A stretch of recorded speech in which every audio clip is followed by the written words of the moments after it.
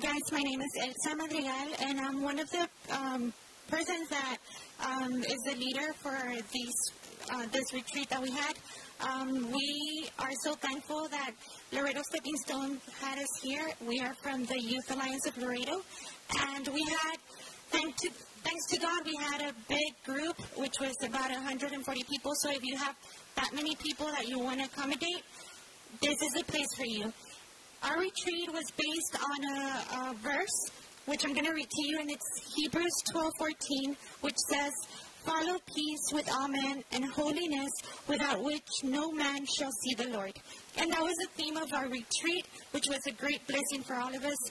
And we thank God first of all for everything that He has done in every one of our lives, and we know He has a lot to do with us still. And we're just here to be instruments in God's hand to serve other people and to look for holiness.